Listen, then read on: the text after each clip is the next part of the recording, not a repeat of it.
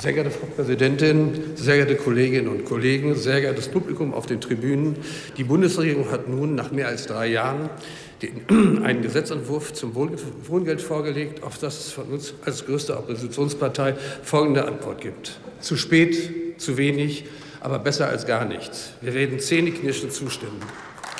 Die Wohnungsnot in diesem Land ist kein Naturgesetz, sondern das Ergebnis der katastrophalen Politik der vergangenen Jahre.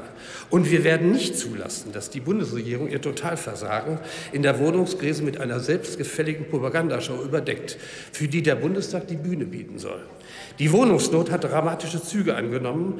Der Wohnungsneubau kommt überhaupt nicht nach. Die Mieten steigen ins Uferlose. Opfer sind, wie so meist, die sozial Schwachen. Aber auch der früher so, so, robuste Mittelstand kommt immer mehr in Probleme und findet sich mittlerweile immer öfter in Stadtratssiedlungen wieder. Dort konkurriert er um Wohnraum mit vielen hier Zuwandernden und ist dabei nicht selten unterlegen. Deren Lebensunterhalt darf er aber vielfach mitfinanzieren. Das ist die Realität im Deutschland des Jahres 2019. Und daran wird sich auch durch die Reform des Wohngeldes nichts verändern.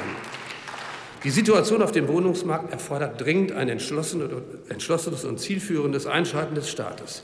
Wir meinen damit nicht äh, die sozialistische Wohnbaupolitik, von der im Hause einige äh, fantasieren. Die Ergebnisse können Sie heute noch in den neuen Ländern bewundern. Das wollen wir nicht.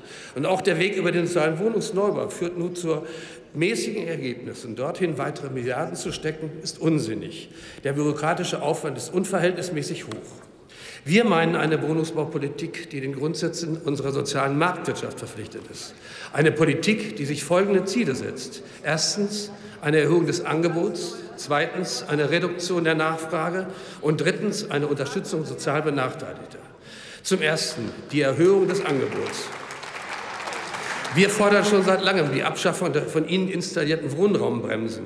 Die privaten Investoren dürfen nicht weiter abgeschreckt werden, sondern müssen wieder ermuntert werden, auch in bezahlbaren Wohnraum zu investieren durch die Deckelung der Grunderwerbsteuer auf maximal dreieinhalb Prozent, durch die Erhöhung der linearen Abschreibung auf drei Prozent per anno, durch das Aussetzen der unsinnigen und viel zu teuren Energieeinsparverordnung und eine Abschaffung der Grundsteuer.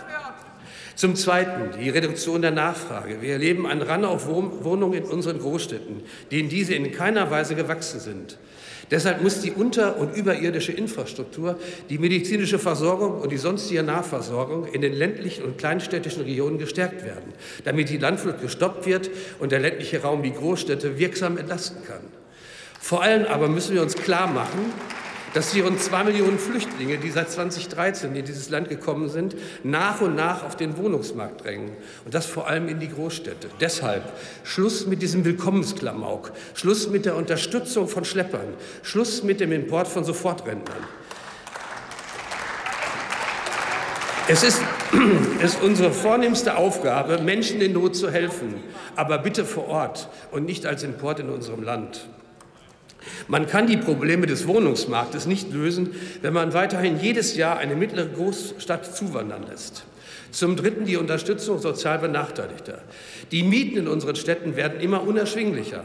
Eine Marktwirtschaft, die sich soziale Marktwirtschaft nennt, muss in solchen Fällen unterstützend eingreifen. Die Erhöhung des Wohngeldes und der Anspruchsberechtigten ist prinzipiell der richtige Weg. Wohngeld ist im Grunde die soziale Voraussetzung einer liberalen Wohnungspolitik. Die letzte Wohngelderhöhung gab es 2016. Seitdem ist auf dem Wohnungsmarkt viel geschehen. Bei den raschen Veränderungen im Bereich des Mietwohnens kann man doch nicht mit einer Wohngelderhöhung nach vier Jahren kommen. Die Bundesregierung erscheint alles in allem als ein politischer Minderleister, der es endlich mal geschafft hat, eine richtige Maßnahme zu ergreifen. Und dafür will er natürlich ordentlich gefeiert werden. Um es klar zu sagen, das, was, sie, was die Bundesregierung hier mit der Wohngeldreform abgeliefert hat, ist das Mindeste dessen, was die Bürger erwarten können. Mehr nicht. Es ist nur recht und billig, dass der Staat den Menschen hilft, die Wohnungsnot zu bewältigen, die durch desaströse Fehlentscheidungen und Versäumnisse der letzten Merkel-Regierung verursacht wurden. Aufgabe der Politik muss in jedem Falle sein, mit dafür zu sorgen, dass Wohngeld erst gar nicht notwendig wird und dass die Bürgerinnen und Bürger von ihren Einkommen die Mieten bezahlen können. Hier sind alle Parteien im Bundestag gefordert. Abschließend wiederhole ich eine Forderung, die ich an dieser Stelle bereits mehrfach erhoben habe. Frau Bundeskanzlerin Merkel, gehen Sie einen ersten Schritt zur Bewältigung der Wohn Wohnungsnot, nehmen Sie den Migrationsdruck von diesem Land und sichern Sie unsere deutschen Grenzen. Vielen Dank.